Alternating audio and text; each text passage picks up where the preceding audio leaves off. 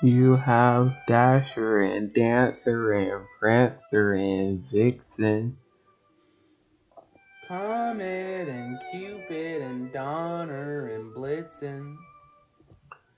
But do you recall The most famous reindeer of all. Rudolph the Red-Nosed Reindeer?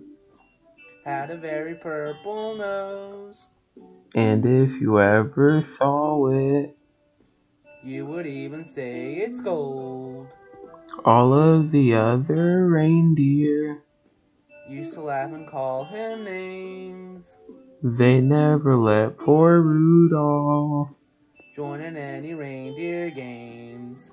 Then one foggy Christmas Eve, Santa came to say, Rudolph with your nose so white. Won't you guide my sleigh tonight? Then how the reindeer loved him.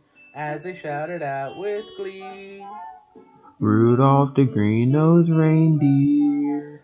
You'll go down in history. Rudolph the blue-nosed reindeer. Had a very turquoise nose. And if you ever saw it, You would even say it's great. all of the other reindeer, Used to laugh and call him names. they never let poor Rudolph. Join in any reindeer games.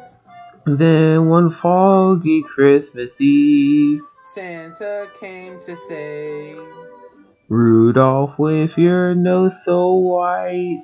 Won't you guide my sleigh tonight? Then how the reindeer loved them. As they shouted out with glee, Rudolph the pink-nosed reindeer. You'll go down in history.